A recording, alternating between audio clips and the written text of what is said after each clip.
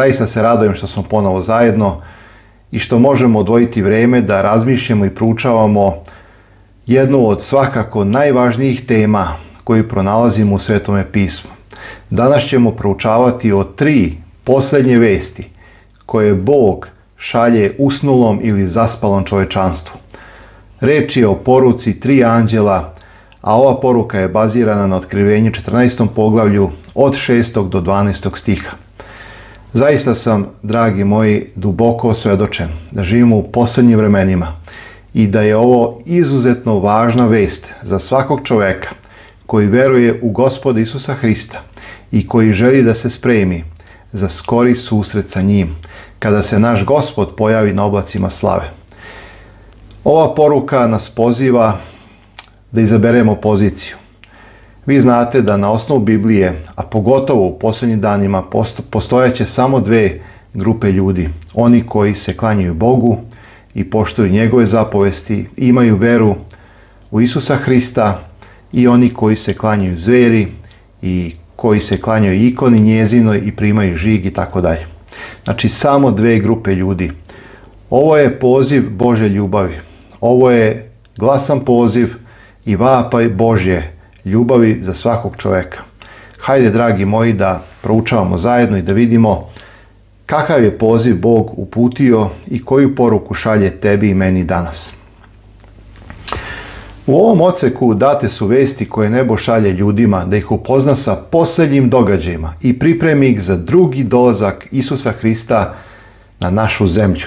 Ove vesti su vesti opomene protiv oruđa Sotone, koji će raditi preko njih sa svakom silom i znacima i lažnim čudesima, da bi uvukao ceo svet u posljednju veliku prevaru pred sam Hristov dolazak.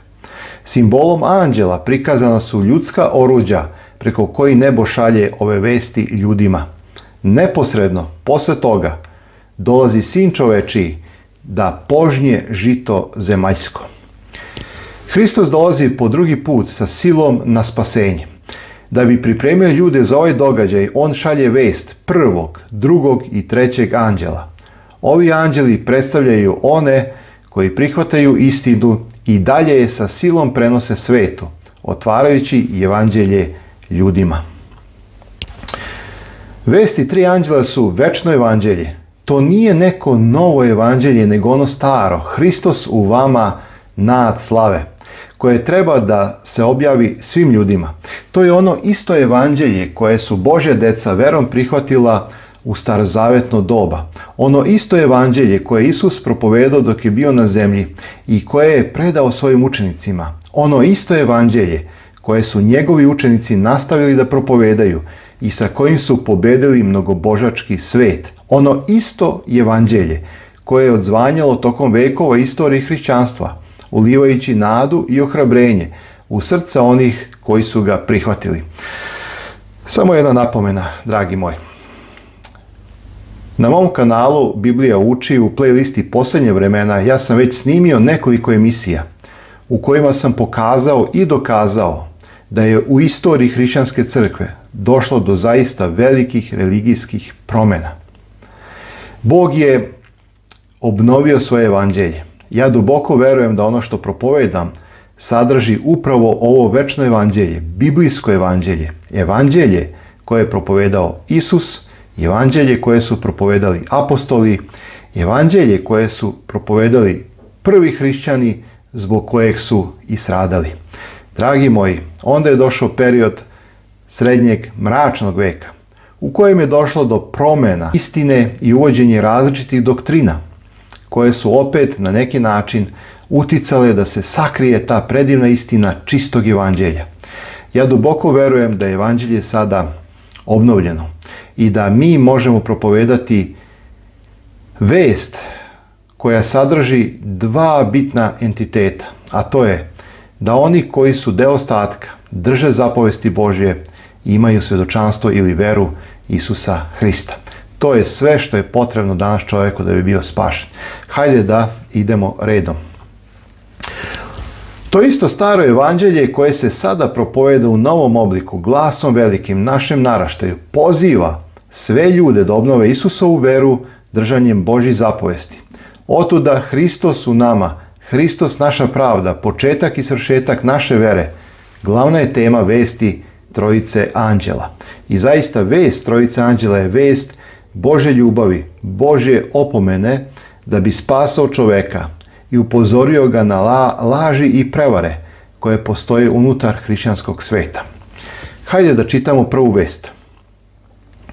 I videh drugog anđela gde leti posred neba koji imaše večno evanđelje da objavi onima koji žive na zemlji svakome plemenu i jeziku i kolenu i narodu. I govoraše velikim glasom bojte se Boga i podajte mu slavu jer dođe čas suda njegova i poklonite se onome koji je stvorio nebo i zemlju i more i izvore vodene. Od 1844. godine kada je nauka o evoluciji počela da ugrožava autoritet Bože reči, vesnici vesti Trojice Anđela počeli su da daju naročit naglasak četvrtoj zapovesti, koja stoji kao bedem protiv odbacivanja Hrista, stvoritelja neba i zemlje. Vest se objavljuje velikim glasom u vreme kada počinje i Boži sud. U 11. poglavlju otkrivenja. Ja vas pozivam ako imate vremena u seriji tumačenja otkrivenja na mom kanalu, znači potražite 11. poglavlje koje smo obradili da biste razumeli zašto 1844. godina vidjet ćete da je ona kraj jednog dugačkog pročkog lanca od 2300 godina koje je objavljeno u knjizi proroka Danila. Ali svakako više o tome možete naći u toj emisiji. To je u stvari istražni sud nad onima koji su verovali u Hrista i umrli. Ovaj sud obuhvata i one koji žive u vreme propovedanja ove vesti i traje sve do kraja vremena milosti. I videh drugog anđela. Jovanu se sada otvara nova panorama. Hronološki događaji koje sada posmatra su retrospektivni, vraćaju se unazad u odnosu na ranije događaje. Ovo otuda što stihovi od prvog do petog ovog poglavlja imaju veze sa prethodnim 13. poglavljem. I zato, dragi moji, ako je ovo prvi vaš susret sa proučavanjem otkrivenja, jako je bitno da biste razumeli prirodu velike borbe između Hrista i Sotone. Da se vratite unazad na početak 12. poglavlja. To je negdje 27. ili 8. emisija u ovoj seriji, ne sjećam se tačno. I tu ćete imati opis početka velike borbe, trenutak kada žena beži u pustinju za vreme vremena ili povremena, rekao sam da je to isti period od 42 mjeseca ili 1260 godina, to je vreme srednjeg mračnog veka, vreme progonstva, vreme kada se u crkvu uvlače lažna učenja pod uticajem paganskog sveta i tako dalje i tako dalje. I onda ćete vidjeti dalje u 13. poglavlju koga predstavlja prva zver, koga predstavlja druga zver i tako dalje, da sada ne bi ponavljao, jako je bitno da krenete od 12. poglavlja. Znači, celo viđenje je simbolično, znamo da je propovedanje evanđelja povereno ljudima. Kada je reč o poruci tri anđela, to nisu bukvalni anđeli, stvarni anđeli koji lete po nebu, to su, e, to je narod Boži koji prenosi vest, a svakako da anđeli Boži pomažu da se ta vest širi. Propovedanje evanđelja nije povjereno anđelima nego ljudima. Nebeski anđeli upravljaju tim delom. Oni vode veliki pokret namenjen da donese spasenje ljudskom rodu, ali samo propovedanje objavljuju sluge Boga živoga koji žive na zemlji. Ovaj anđeo ovdje je simbol velikog pokreta koji se javlja u određeno vrijeme označeno u proroštvu. Gdje leti posred neba, prorok vidi anđela kako leti što označava brzinu kojom će se vest objaviti ljudima. To što leti posred neba ukazuje na sveobuhvatnost vesti. Ona treba da se objavi celome svetu. Znači, Bog nije samo Bog hrišćana, Bog nije samo Bog jevreja, nekada Bog je Bog sviju i On je dao svoju vest da se objavi celome svetu i da hrišćanstvo bude nosilac one istinske prave istine koje je u Isusu Hristu. Boži plan spasenja, to večno evanđelje obuhvata nekoliko glavnih tačaka propovedanja. Obećanje o dolasku oslobodioca dato Edemu, objavljivanje Božeg zakona kao Božje volje na Sinaju, rođenje, službu i smrt Hristovu kao žrtvu pomirenja za otkup čoveka, Hristovo uskrsnuće, uznesenje i svešničku službu u nebeskom svetištu, istražni sud koji treba da utvrdi ko su Božji sveti i ponovni dolazak Hristovu slavi kojim se završava velika borba između dobra i zla. Ovo su glavne teme koje obuhvata plan spasenja, a koje bi svaki čovjek trebao da zna da bi mogao da se opredeli za Hrista i stane na njegovu stranu. Svakome plemenu, jeziku i kolenu i narodu. Evo vidite, znači evanđelje, pogotovo sada putem interneta, dolazi do svih naroda, odlazi na sve kontinente i zaista a, čini da se evanđelje propoveda svakom jeziku, kolenu i narodu. Ovaj četvorostruki način opisivanja hoće da naglasi sveobuhvatnost i značaj ove vesti. Ona treba da se objavi svakom stvorenju pre nego što Isus ponovo dođe na našu zemlju. Govoraše velikim glasom, bojte se Boga. Grčki fobeo znači bojati se u smislu poštovati. Ove se upućuje ljudima u vreme kada će se ljudi klanjati svemu drugome osim ne Bogu. Međutim, mnogobrojnim bogovima kojima se ljudi klanjuju u posljednje vreme jesu materializam, nauka, telesna uživanja, čast i ponos svog mišljenja. Ovo su samo neki elementi uh, koji su sadržani u tom pravcu idolopoklonstva. Podajte mu slavu. Dužnost da slavimo Boga zasniva se na činjenici da je On naš stvoritelj i da mu sva stvorenja duguju život.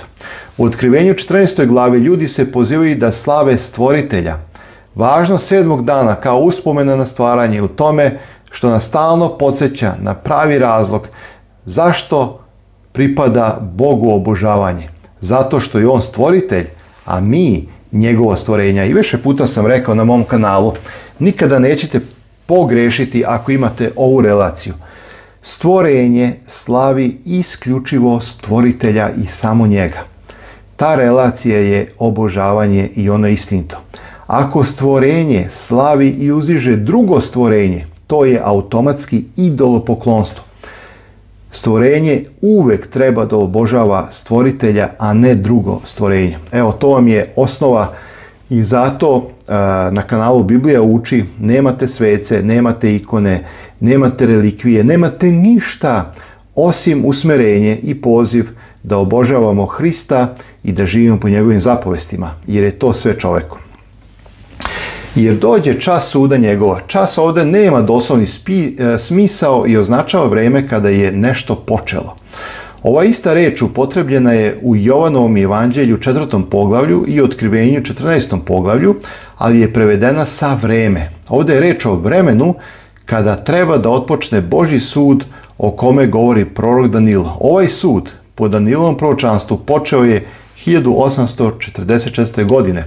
Evo recimo vidi tumačenje koje sam naveo i ovdje sam stavio da sam o tome mnogo više govorio u 25. emisiji. Znači ako želite nešto više saznati o Danilovom proročanstvu i o početku i o, i o kraju tog vremenskog lanca od 2300 godina, poslušajte 25. emisiju. Za sud upotrebljena je u grčkom reč krisis koja označava proces suđenja za razliku od reči krima upotrebljene u otkrivenju 17.1, a koja se odnosi na osudu, presudu suda.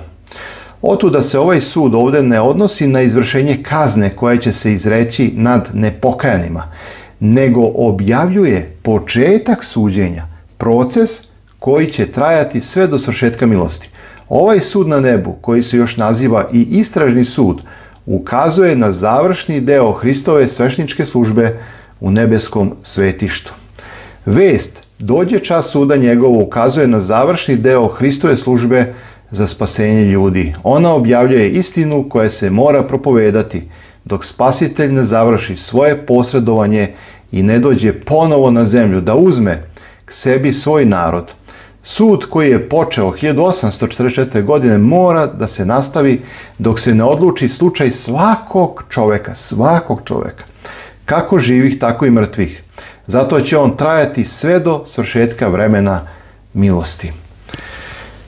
I poklonite se onome koji je stvorio nebo i zemlju. Grčka reč proskuneo upotrebljena za poklonite se znači odati dužno poštovanje, ukazati čas nekome kome to pripada. Na koji način ljudi mogu najbolje da ukažu poštovanje Bogu? Prvi anđeo poziva ljude da se boje Boga i da mu daju slavu i da mu se poklone kao stvoritelju neba i zemlje. Da bi to činili moraju slušati njegov zakon.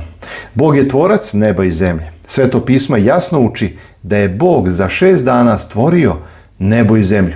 Ali Soton je uspeo da zavede ljude da odbace biblijsko učenje o stvaranju sveta za šest doslovnih dana i prihvate učenje Charlesa Darwina o evoluciji. Ovaj poziv ljudima upućen je prvi put u vreme kada je naglo počela da se širi Darwinova teorija o evoluciji. Druga vest. Hajde da vidimo šta nam poručuje drugi anđeo. I drugi anđeo za njim ide govoreći pade, pade Babilon, grad veliki, jer otrovnim vinom bluda svojega napoji sve narode. Vez drugog anđela snažno svedoči protiv religija, kompromisa i objavljuje njihov pad. Vavilon, simbol svih religija kompromisa koje imaju početak u Vavilonskoj kuli, predstavljen je u otkrivenju kao pala žena bludnica. O tome ćemo govoriti kada dođemo u 17. poglavlje. Nasuprot čistoj ženi iz otkrivenja 12 koja predstavlja pravu Hristovu crku. Vest drugog anđela je poziv da se odupremo iskušenjima i ne prihvatimo široki put koji nam nudi Vavilon, a na kome se mogu naći svi kompromisi u pogledu verskih načela. Bog poziva ljude da drže čistu Isusovu veru i njegove zapovesti nasuprot Vavilonu, koji poziva ljude da veruju Hrista bez držanja njegovih zapovesti. Znači, Vavilon nije, dragi moji, doslovan Vavilon, neki grad doslovan koji je nekada postojao. Vavilon je izraz za a, sve te religije, verovanja, sve ono što je došlo u hrišćanstvo pod uticajem paganizma i tako dalje. To je jedna zbrka unutar hrišćanske crkve koja je zbunila čoveka da čovjek više ne zna šta je istina, da ne može da spozna Hrista i tako dalje i tako dalje. Zato se i Vavilon prevodi kao zbrka, pometnja. I drugi anđeo za njim ide govoreći. Ovdje je upotrebljena grčka reč akolueto, što znači pratiti, slediti, u smislu pridružiti se nekome. U pogledu vremena drugi anđeo sledi prvog, ali prvi anđeo nastavlja svoje propovedanje kada mu se drugi pridružuje. Dakle, vest drugog anđela ne prekida propovedanje prve vesti, nego joj se pridružuje. Za prvog i trećeg anđela se kaže da govore ljudima glasom velikim, dok se za ovog drugog to ne kaže. To je zato što će se njegova vest, vest o padu Babilona ponoviti kasnije jakim glasom uz pomoć jednog drugog anđela iz otkrivenja 18. O tome ćemo više govoriti kada dođemo u 18. poglavlje. Vez drugog anđela glasi pade, pade Vavilon. U Jovanovo vrijeme grad Vavilon bio je odavno u ruševinama. Otuda značenje mora da je simboličko, a već sam naglasio da jeste. Grad Vavilon osnovo je Nevrot. Od samog početka ovaj grad je bio simbol protivljenja Božoj volji. Vavilonska kula bila je spomenik neposlušnosti i otpada od Boga, tvrđava, pobunjenika, protiv svevišnjeg. Prorok Isaija opisuje Lucifera kao nekog nevidljivog vavilonskog vladara, a prorok Jeremija predstavlja Vavilon kao onog koji opoji svu zemlju. Zato poludeše narodi. Kao da je Sotona izabrao Vavilon za središte i oruđe svog plana preko koga može da ima kontrolu nad ljudskim rodom. I zato, dragi moji, ne možete razumeti Novi Zavjet bez starog. Ne možete razumeti neke termine koje sada evo proučavamo kao što recimo Vavilon bez starozavetne pozadine. Zašto se u otkrivenju koristi Vavilon? Pa evo zbog ove pozadine i ovih starozavetnih tekstova koji govore da je Vavilon uvijek bio opozit Bogu, Jerusalimu i Božoj istini. U starom zavjetu Jerusalim i Vavilon bili su oličenje dve suprotne sile, sile dobra i zla. Osvajači Vavilona oduvek su težili da vladaju svetom nezavisno od Boga i da se Bog nije redovno mešao da održi pravdu, oni bi je sasvim potisnuli sa zemlje. Ovo je bio razlog zašto je Bog srušio Vavilonsku kulu, raseo njene stanovnike i oborio njene zidove. Samo u svetlosti starozavetnog delovanja Vavilona možemo razumeti značaj novozavetnog duhovnog Vavilona. Kao što smo vidjeli, ime Vavilon bilo je u starozavetnom Izraelu simbol iskvarene religije i otpadništva od Boga. On simboliše iskvareno hrišćanstvo, koje je otpalo od čiste Hristove vere. Izraz Vavilon dolazi od reči Babel, što znači pometnja. Ovaj se izraz upotrebljava u Svetom pismu da označi razne oblike lažnih, otpalih religija. Grad veliki, kroz celo otkrivenje Vavilon se naziva grad veliki, što označava ujedinjenje palih crkava pred kraj vremena milosti. Vavilon je velik u smislu velikog napora Sotone i njegovih oruđa, koja sačinjavaju Vavilon da uvuku ceo svet u posljednju veliku prevaru i otpad od Boga. Otrovnim vinom bluda svojega napoji sve narode. Ova slika uzeta iz Jeremije 25.15. Pročitajte ovaj tekst, bit će vam značajan.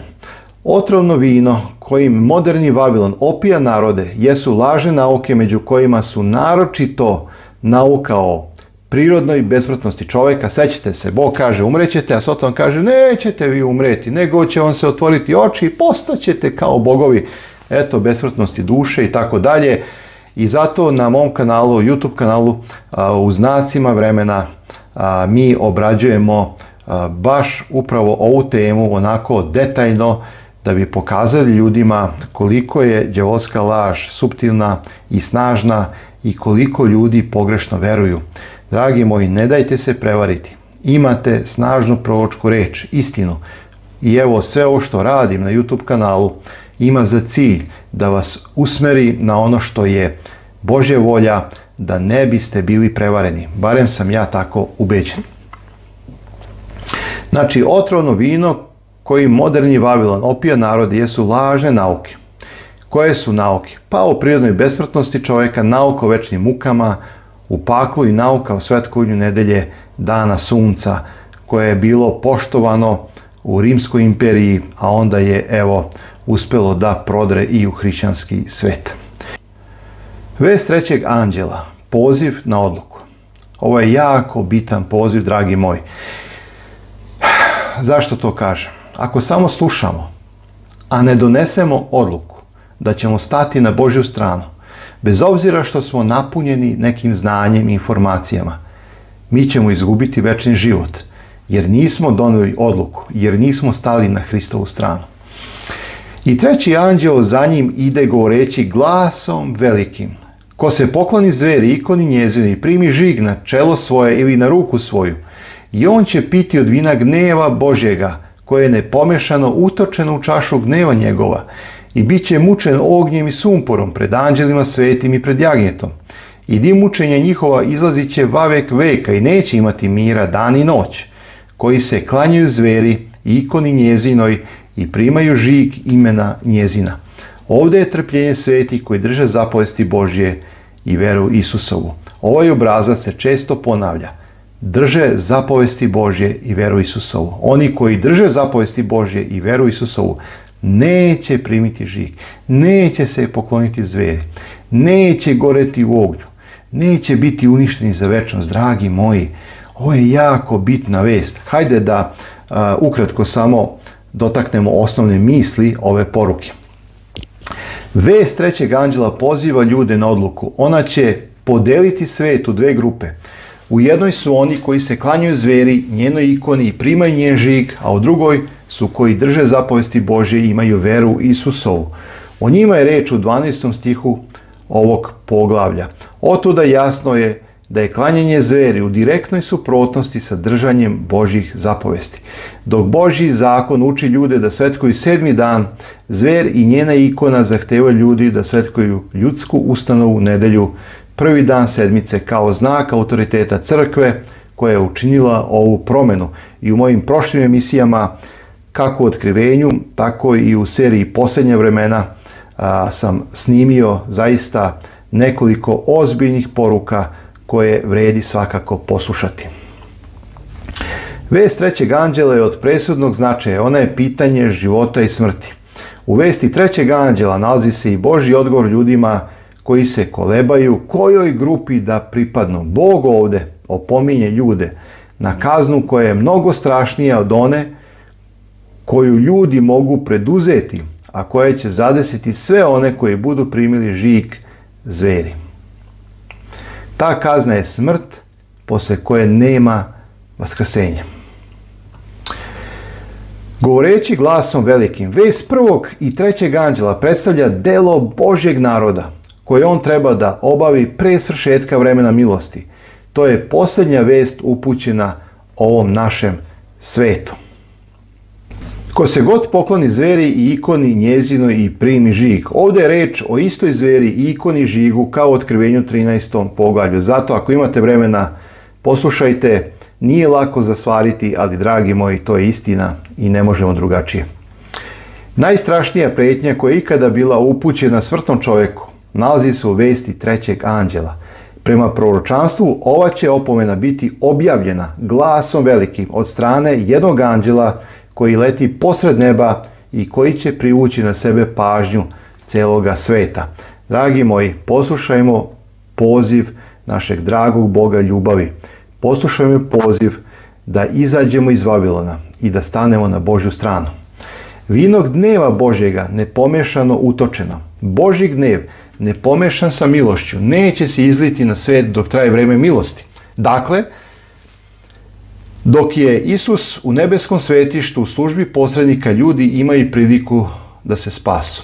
Kada Hristos bude završio svoju posredničku službu u svetinji, izliće se nepomešani gnev na one koji se klanju zveri i njenoj ikoni i koji su primili njen žig. U otkrivenju, dragi moji, koje smo proučavali, u 13. poglavlju, pred kraj samog 13. poglavlja, rečeno je da će upravo zver pokušati da učini sve slobodnjake robove, bogati siromašne, da prime i tako dalje. Ona će to želeti da nametne silom, ali mi koji se oslanjamo na Boga imat ćemo dovoljno snage da kažemo ne. I dim učenja njihova izlazit će va vijek veka. Za va vijek veka upotrebljena je u grčkom izraz eis aionas aionion, u množini da označi vreme mučenja nepokajanih. S obzirom da je ovaj izraz upotrebljen u množini, ne može se odnositi na neko beskonačno vreme, jer reč koja označava pojam beskonačnosti ne upotrebljava se u množini. Takva reč nema množinu kao na primjer svemir. Otuda ovaj izraz označava neko određeno vreme, vreme koje ima svoje trajanje. Biblija nas jasno uči da će greh Sotona i nepokajani na kraju biti konačno uništeni. Posle toga nastaje nova zemlja koja će biti domovina spašenih. Trpljenje svetih, grčki hupomone, istrajnost, postojanost. Odlika Božjeg naroda posljednjeg vremena je veliko trpljenje. U vreme kada ceo svet bude ustao na njega, on će pokazati nepokolebljivu istrajnost. On će biti postojan u načelima Isusove vere i nikakve pretnje neće ga pokolebati da odstupi od svojih načela, pa ni sama smrt kojom će se pretiti. Drže zapovesti Božje. Ovo je odlika svetih kroz sva vremena, koja će naročito biti istaknuta u vreme kada izađe zakon o prinudnom svetkovanju nedelje. Tada će biti povučena jasna razlika između onih koji služe Bogu i onih koji služe Sotoni. Bog želi da se njegov narod pripremi za krizu koja uskoro dolazi. Spremni ili nespremni, svi moraju da se susretnu sa njom i samo oni koji su svoje živote usaglasili sa božanskim merilom stajeće čvrsto u vreme ispita i probe. Kada se svetovni vladari udruže sa verskim vođama u donošenju naredbi po pitanju savjesti, tada će se videti ko se stvarno boji Boga i služi mu. Naša jedina sigurnost protiv lukavstva Sotone leži u marljivom proučavanju pisma da bismo pravilno razumeli ono što verujemo i verno ispunjavali svaku poznatu dužnost. U našem sledećem susretu razmišljat ćemo na temu kako Bog ukazuje počast mnogima koji su veru održali. Otkrivenje 14. glava 13. stih. Znači, jedno kraće predavanje bazirat ćemo samo na jednom tekstu. Do tada Ja vam želim svako dobro u ime našeg gospoda Isusa Hrista. Amin.